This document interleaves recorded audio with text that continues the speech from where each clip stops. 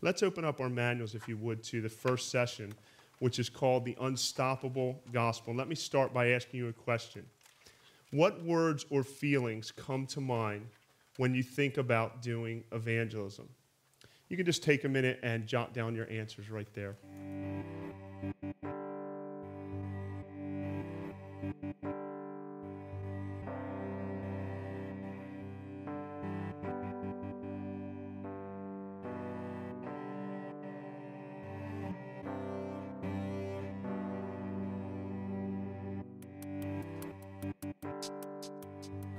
First word is fear because it's a little bit scary. Care because I know that the people are lost. Fear is probably one of them. Teaching, preaching, Um, selflessness, initiative, and God centeredness. uh, sharing other people about Christ and what God has done in my life. uh, grace that God gives grace uh, every time you go out. fear and um, and yet also um, wanting it to be done. I know probably the biggest answer for most of us is fear. Fear definitely tops the list. Uh, you might have put guilt or even anxiety. Now, maybe you wish that your answers were more faith filled declarations, but if you're honest, you probably wrote down some things that did express fear or even anxiety. If that's you, you're not alone. But God has given us a di- desire. He's placed His Spirit in us and given us a desire to reach men and women with the gospel. Yet, we also have an ironic aversion to it as well. The good news is that God promises to seek to help us as we grow in this important area of evangelism. So, what I'd like to do in this first session is consider three biblical motivations that can help to strengthen and embolden us in the adventure of evangelism. And the first one is the unstoppable gospel. You'll see that on the top of page 8. It says evangelism exists because God designed men and women to bring him glory. I like how John Piper says it. He says evangelism exists because worship does not. God has created men and women to worship him, and it's our desire that there would be more worshipers to give him glory. See, God is passionate about his glory, and he's guaranteed that he will rescue sinners so that they too can delight in his goodness and his grace.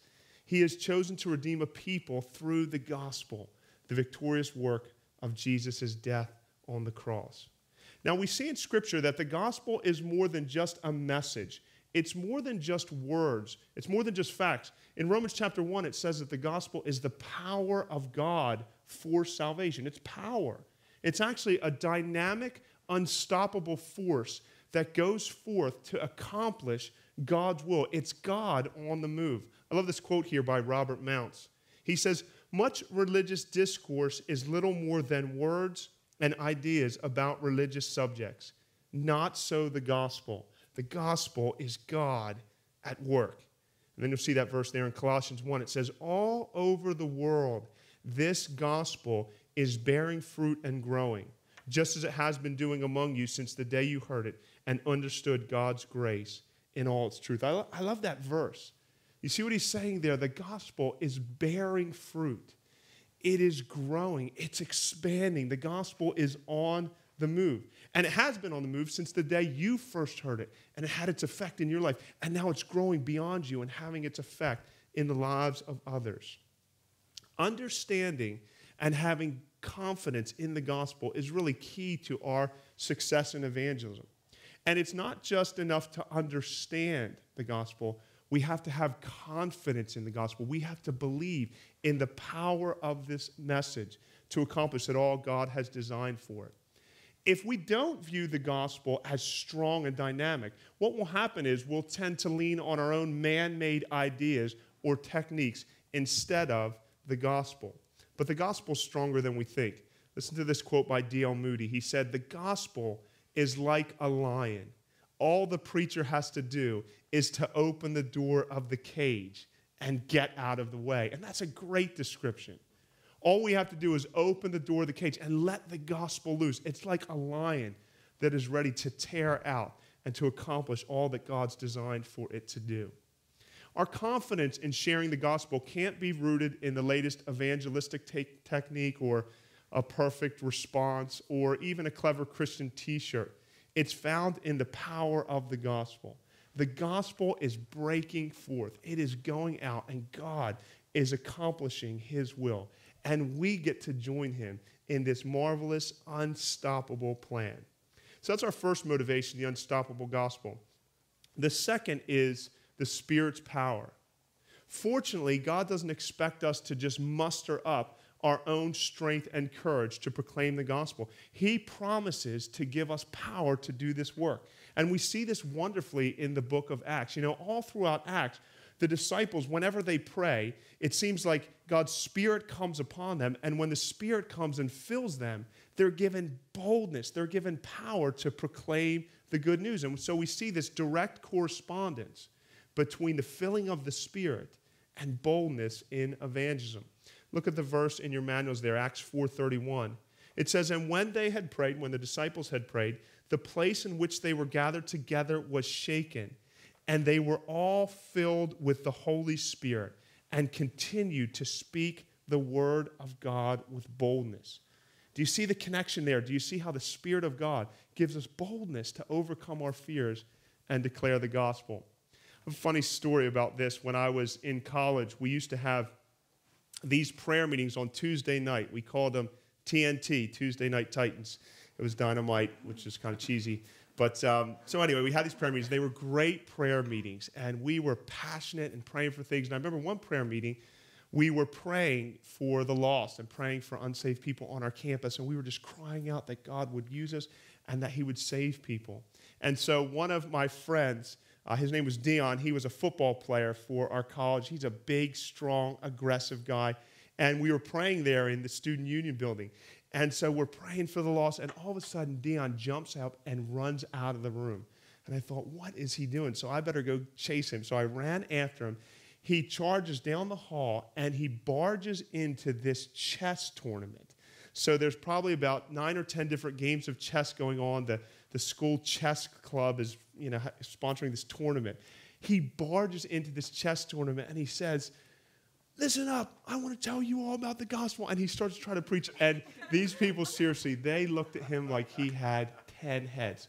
So I just kind of went in there. I'm like, I'm so sorry. He didn't take his medication and got hit on the head with a large office object. Let me just get him out of here. So I just pulled him out of there. I'm like, Dion, what were you doing? What are you thinking? And he said, he said, well, I just got tired of praying. I got tired of praying. I thought, we got to do something about this. And as I thought about that, I thought, yeah, you know, there's something good in that. And there's something that we see in Acts. When we're filled with the Spirit, when the Spirit of God comes, we pray and we experience His Spirit, there's a boldness to go and act, to go and reach out with the gospel. How often would you say you ask God to fill you with His Spirit? How many people here would say you always ask God to fill you with His Spirit? Just go ahead and raise your hand. How about sometimes you ask God to fill you with His Spirit? Okay, most of you. How about you never, almost never ask God to fill you with His Spirit? Okay, excellent. Well, attempting evangelism without the Spirit's power is like trying to fly a kite with no wind. You can run around till you're blue in the face, but it's just not going to get up off the ground. We need to ask God to fill us with His Spirit, and God is so willing, and He will graciously fill us and give us boldness for the task of evangelism. Now, after asking God to fill us, we also need to turn and pray for the lost. We need to intercede for them. And intercession not only expresses our dependence on God, that we need God in this task, but it rightly recognizes God's sovereignty, that God is sovereign in salvation. A great prayer for evangelism is modeled for us in Colossians chapter 4. In verse 3, it says, At the same time, pray also for us that God may open to us a door for the word. Isn't that a great phrase? that God may open a door for the word to declare the mystery of Christ. That word for declare there is proclaim, that we might proclaim the mystery of Christ, on account of which I am in prison. Pray that I may make it clear, which is how I ought to speak. This is a great prayer for evangelism. There's a couple things you can consider praying for. First, pray that God would open a door for the word. That's a great thing to pray on your way out of the house. Say, God, open a door for your word today.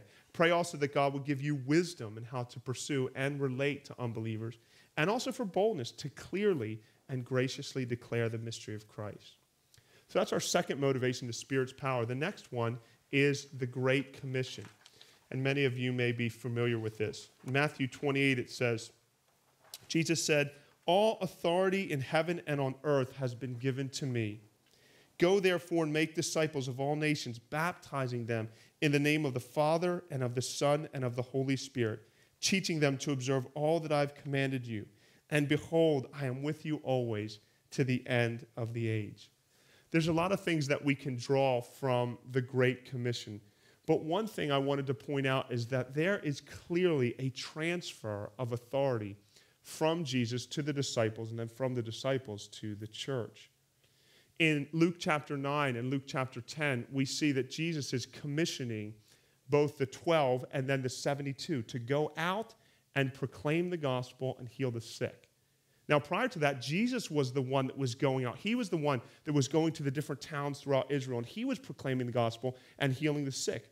And in Luke 9 and 10, we see a shift. Now his followers are going out. They're the ones that are preaching the gospel and healing the sick. There's been a transfer of authority. He's passed the baton to his followers. And we see that here in the Great Commission we see that he has been given all authority. Why does it say that? Why does it say all authority has been given to me? I think it implies that he is then giving us his authority, and we have the authority of Christ to be able to go forth with the good news, with the gospel. One other thing that we can see here is that not only does he call us to go forth with his authority, he's right there with us. I love how it says at the end.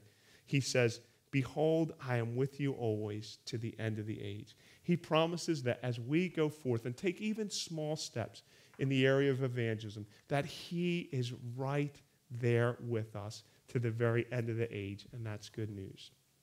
Now, this raises a question. If we've been given this commission, we've been given authority to declare this message. The authority of God has been given to us to declare this.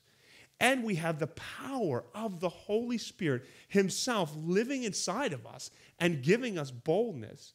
And our message is the unstoppable gospel, which is dynamic and powerful and goes forth to accomplish His will. Then what's stopping us? Why don't we seem to be doing evangelism? Why is evangelism kind of right up there with going to the dentist as things you don't want to do until you put it off as long as you can? Why do we lack confidence in the gospel? Well, let me ask you another question. You'll see this on the top of page 12. It says, What are some common obstacles that keep you from sharing the gospel? Go ahead and take a minute and just jot down your answers. What are some common obstacles that keep you from sharing the gospel?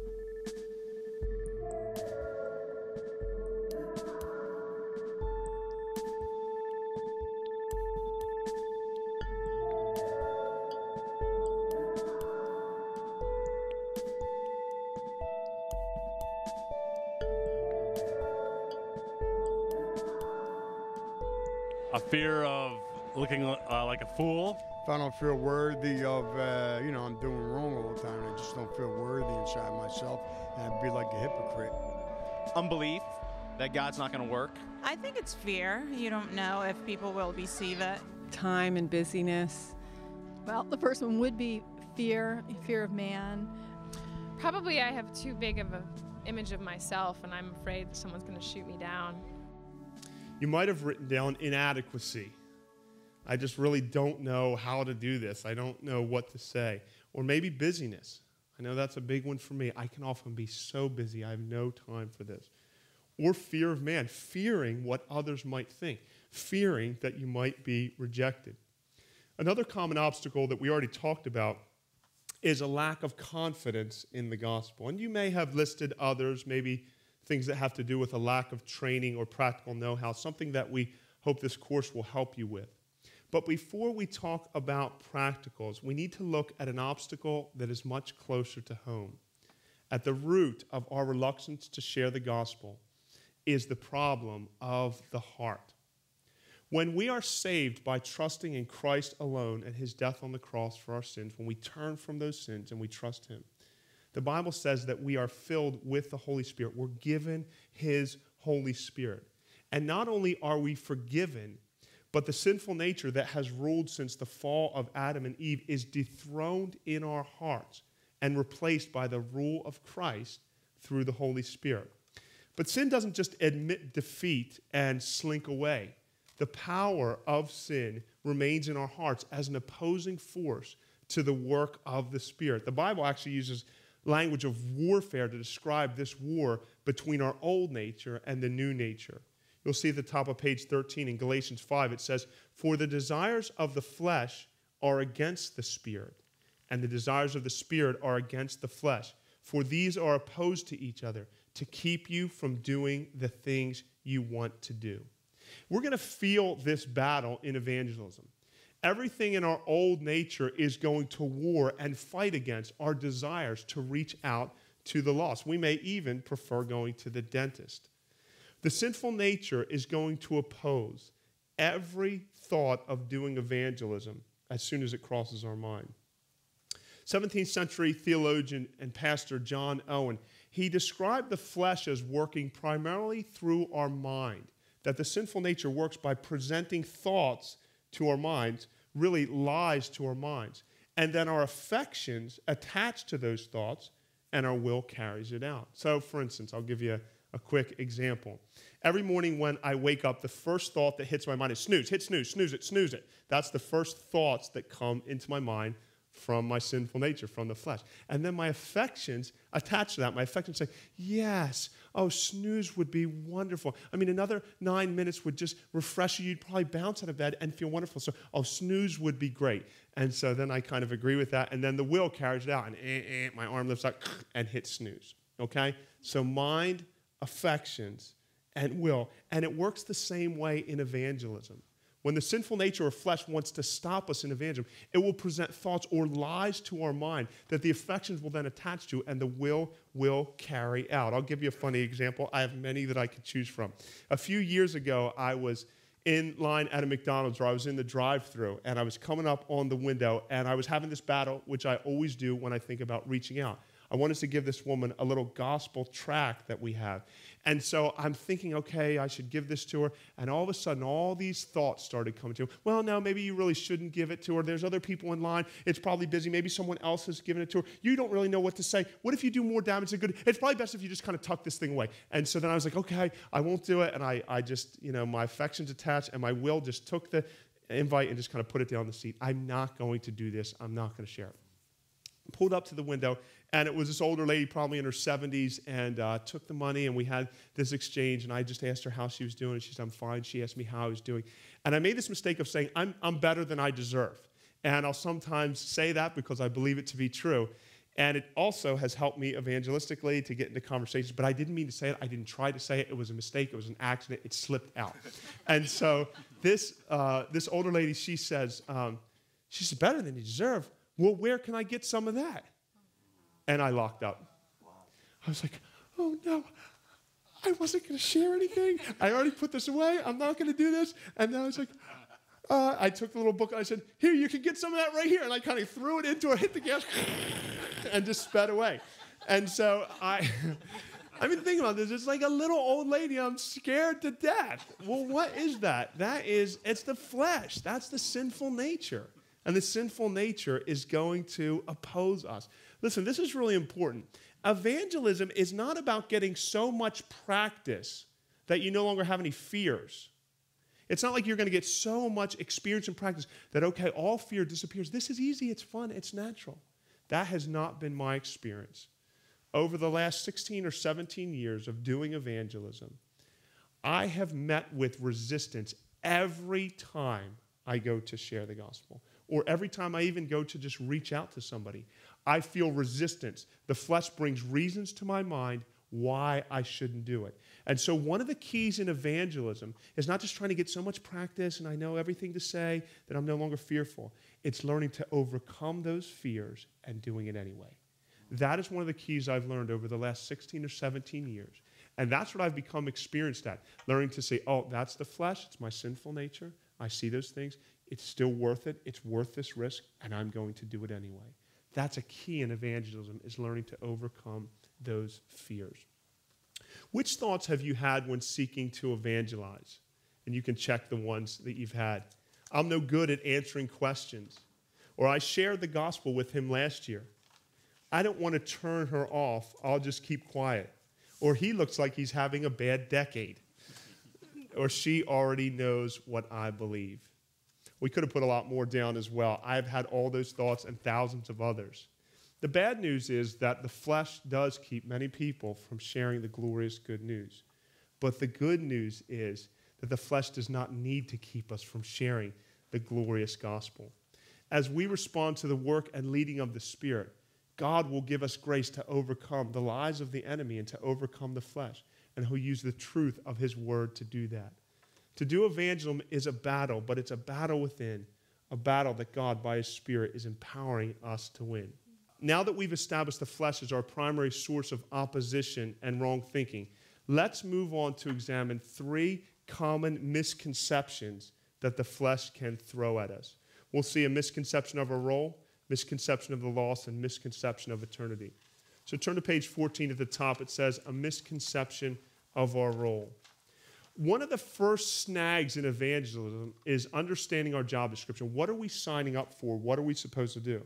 You know, a lot of people think we have to kind of, you know, go into a phone booth, put a super evangelist cape on, and, you know, come out debating like a speeding bullet or confronting more powerfully than a locomotive, converting in a single bound.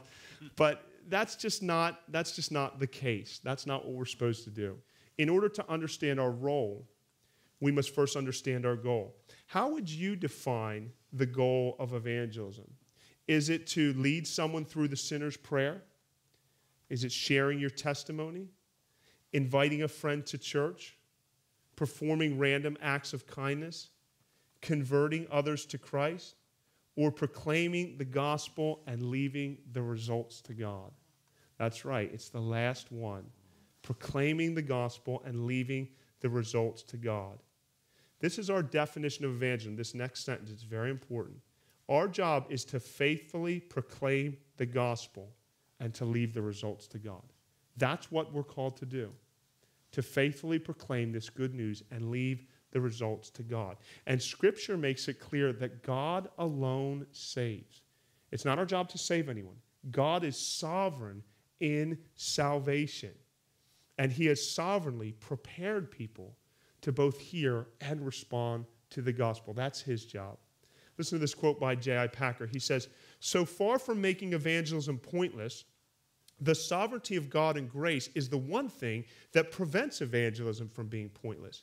For it creates the possibility, indeed the certainty, that evangelism will be fruitful. Apart from it, there is not even a possibility of evangelism being fruitful. Were it not for the sovereign grace of God, evangelism would be the most futile and useless enterprise that the world has ever seen, and there would be no more complete waste of time under the sun than to preach the Christian gospel. God is the one who guarantees success. Methods and strategies are helpful, but they are ultimately not necessary. We simply need to proclaim the gospel and the power of the Holy Spirit and leave the results to God. The flesh, the flesh wants us to worry about how someone will respond or try to control their response. But that's not what God calls us to worry about. He simply calls us to share this good news. And you know what the truth is? If you've shared with somebody, if you've shared this message, even if they've gotten angry or if they've gotten hostile or they haven't received it, you have not failed. You've already succeeded. So that's the first misconception, a misconception of our role. The second misconception is a misconception of the lost. You know, fear is an odd thing. Fear tends to exaggerate reality, it makes us uh, see a monster in every shadow. And it also tends to make us pessimistic and suspicious of others.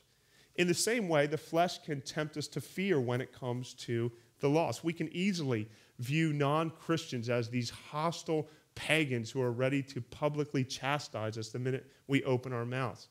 But the world isn't always as we perceive it. In a recent survey by a man named Thom Rainer in his book, uh, The Unchurched Next Door, he actually studied thousands of people across the United States and he categorized them into five different categories. Uh, a U1, an unchurched one, was somebody that was ready to accept Christ and surrender their lives to the Lord. A U5 was somebody that's hostile, open, and antagonistic to the gospel. And what he found is that a very small percentage of people are actually U5s. You'll see that in the book. It says 82% of unbelieving men and women in the United States say they would be somewhat likely to attend church if they were invited. Isn't that amazing? Doesn't that seem high? But this is what he found 82% were somewhat likely to, to come to church if they were invited. And one of the things he said was, well, we need to invite them. We got to get out there and invite. But we can often think, no, nobody wants to come, and I better just keep it in my pocket. But this is the facts. He also found that only 5% were openly hostile or antagonistic. Only 5% were those U5s, one out of 20. And I think the problem for us is we can hit one of those folks. Maybe we hit a U5, somebody that's hostile or antagonistic. And then we think, oh, no, I knew we should have done this. This was a bad idea. I should have never taken this proclaimed course. I should have just kept my mouth shut. I'm doing more damage than good. And, and really, only 5%. They're there, but it's only 5%. Often people are more open to hearing the gospel than we are of telling it. And that's my experience as well. We have a ministry here at the church called a gospel outreach, and we go out to share the gospel. We started it a few years ago, and I remember I was going to go out and check it out. I had another person that was leading it, and I thought, well, it'll probably be a good idea for me to go out on one of these gospel outreaches so that I can, you know, see how things are going. You know, I'm kind of the supervisor. I'm over evangelism. It'd be a good idea. Well, as I began to go there, I thought, this isn't going to work. And I started to be bombarded by thoughts. Why are we doing this? Are people really open to this anymore? I mean, we used to do this and it worked, but it's not going to work anymore. And people are kind of hostile to this. What if somebody, you know, locks me up? And uh, all these kind of thoughts. And I thought, well, I better do it. I'm a pastor. You know, I'm in charge of evangelism. I, you know, I'm probably obligated. So, so yeah, there's my motivation for you. So I go on this outreach and we just go out. We go out to the street, to malls and different campuses. And we were just out on the street. And I just began to talk to this guy and just started asking him a few questions. I could not believe how open this guy was to sharing the gospel. I talked to him for half an hour. I was able to talk to him all about the gospel. He was interested. He sat there and talked to me. He was completely open.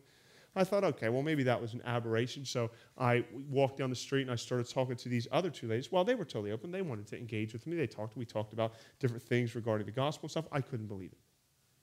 And that's been my experience ever since. See, I think fear tends to exaggerate things. It wants us to think, no, just keep to yourself, be quiet. Everybody's mean and antagonistic. But that's just not true. So the question is this since people are not openly hostile or antagonistic, is that true for all?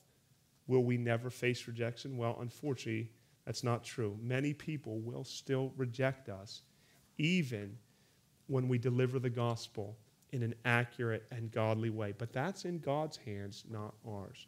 1 Corinthians 1:18, you'll see it there. It says, "For the word of the cross is folly to those who are perishing, but to us who are being saved, it is the power of God." In other words, the message of the cross is foolishness.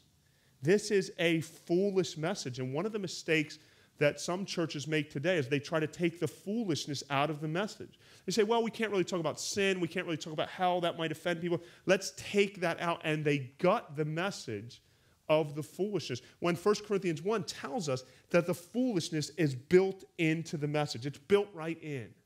This is a foolish message. And people who are perishing will think that it's foolish. But that same message is the power of God.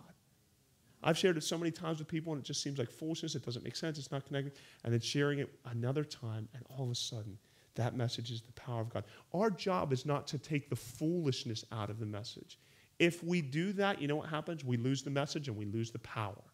Then that message has no power. We're called to declare a message that is actually, by design, foolish to those who are unsaved.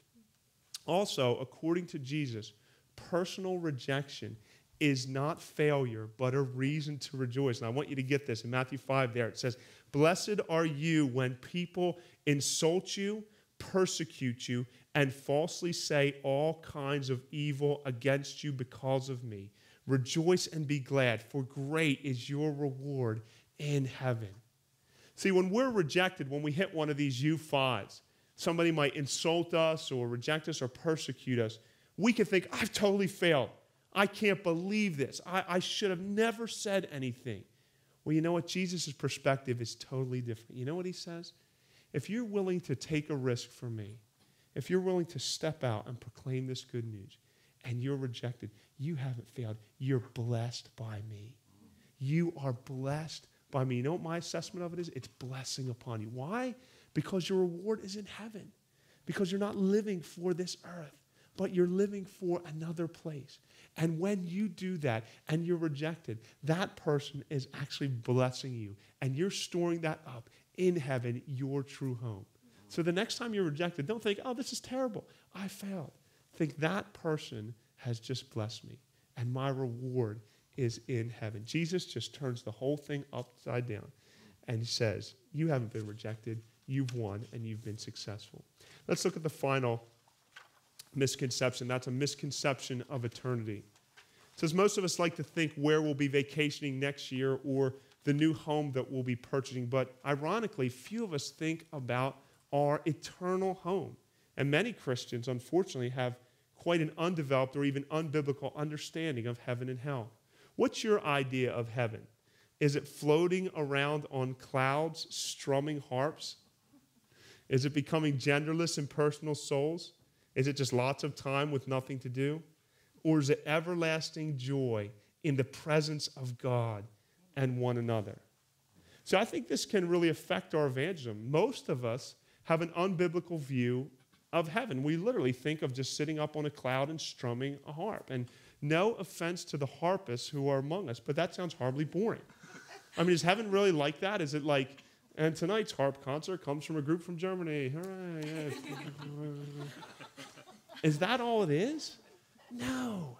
Heaven is amazing. It's a place that is exploding with joy and wonder and colors and excitement and responsibilities and food, and we'll have homes and we'll entertain people and we'll see Jesus face to face. Imagine what the worship will be like. Imagine uh, being free from our sin. Imagine what this place is like. I mean, just thinking about it, even for a, a fraction of a second, makes us long to be there and it motivates us to bring others there. But you know what? If it's a boring place, what are you going to? You don't care. You don't care about bringing others there. Nobody wants to bring someone to some place that is boring. How about hell, though? Do we ever think about that? Look at the question there. It says, When did you last seriously think about hell? Was it last week? Last month? Last year? Or maybe you never really thought about it much? See, many Christians' view of hell is, is deficient simply because they'd rather not think about it. And the effect is to diminish the urgency in reaching out. L.R. Scarborough said, If we could only have a five minute glimpse into hell, our evangelism would be changed for a lifetime. So I think we can fail to think about heaven and think about it accurately, so we don't think about it very much. And then we fail to think about hell biblically. And we just want to push it away from our minds. The flesh wants to keep us from thinking about it.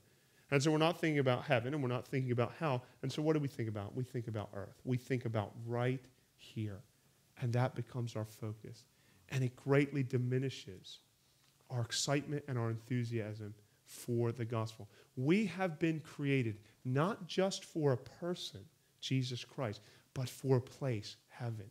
And we've been saved from the horrors of hell. How breathtaking to realize that God can use us to deliver an eternal soul from their worst nightmare to their precious Savior. What greater honor is there? And we get to join God in the unstoppable spread of this glorious gospel.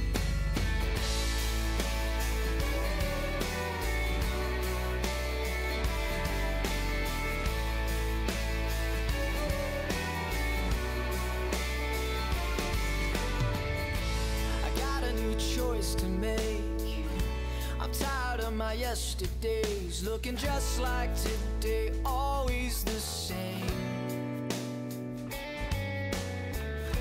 Been reading familiar lines.